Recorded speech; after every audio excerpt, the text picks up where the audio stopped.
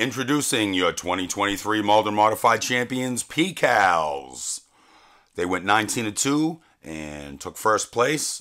That was their third championship, winning back to backs in 22 and 23, and also having won one in 2018.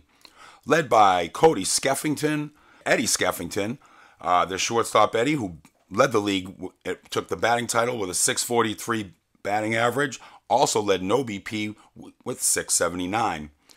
Cody Skeff was good for third place with six homers and also fifth place in RBI with 27.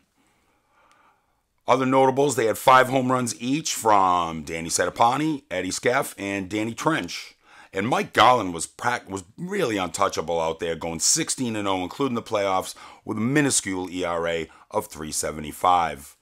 Other veterans, Mike Jammer batted a solid 474, and Marco Polo also chipped in to help the PCALs win their back to second back to back title in as many years.